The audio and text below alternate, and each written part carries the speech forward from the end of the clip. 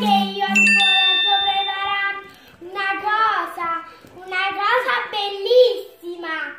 Il presepe e le luci vengono da qui fuori. Ho scritto pure una letterina. La letterina è